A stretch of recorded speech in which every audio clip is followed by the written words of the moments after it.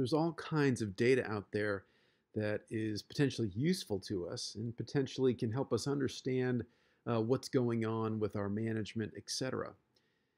The problem is many of these data repositories are being spit out by um, an agency or a group that uh, doesn't really have subsequent data utilization, doesn't have your subsequent data utilization in mind. So they've organized it, they've maybe collected this data, um, but they're putting it out in a way that they think is maximally viewable to people.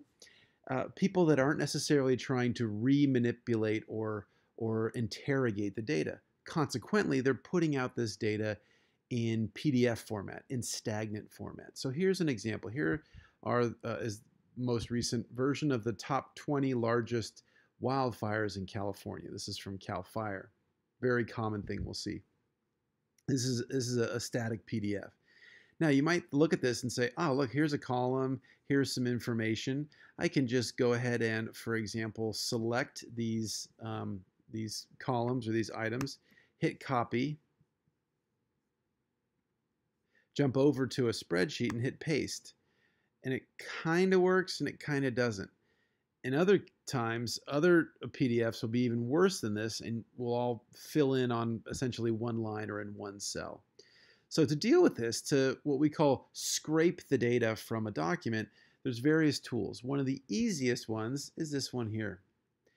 So uh, Tabula is designed to make this easier for you. This is open access. Uh, um, this is an, an open access tool that works across platforms.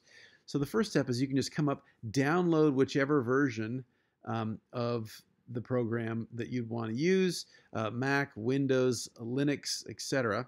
Uh, download it and install it. And then uh, when you have the program and go to open it, it's going to open um, a browser window.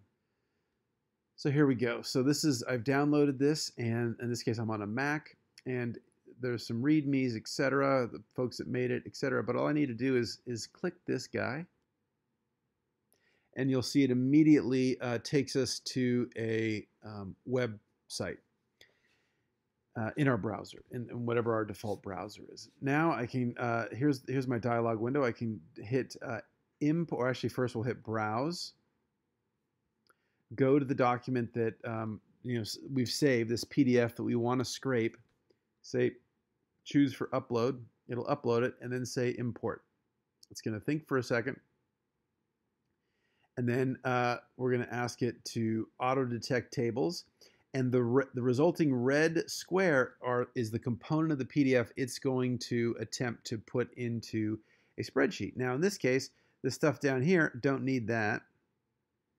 And uh, everything else looks good. So we have our call, we have our, our titles of our columns here.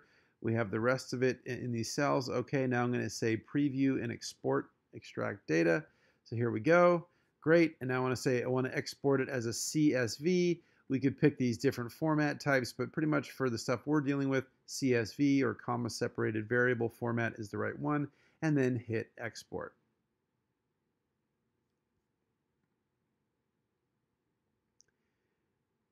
Now we can go to our browser or to our um, uh, tabular data manipulation tool of choice. That could be Excel, that could be Google Sheets.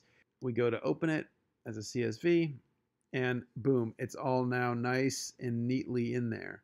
We can expand this and see that there's uh, various uh, names in here, the dates, etc.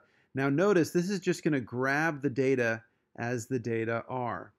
So for example, this isn't the tw if I click on this, this is this is uh, 8-1-2020. This one says 8-1-2020. This one says July 1, 2007. Um, all that the data read as was July of 2007. Uh, so uh, the default, in this case Excel, um, new uh, date calculation has added the first month of, or excuse me, the first day of that month into the dates which may or may not be right, but it's probably enough for um, uh, helping us get this organized. And there you go. So an easy way to scrape data off of any PDF that is in tabular form.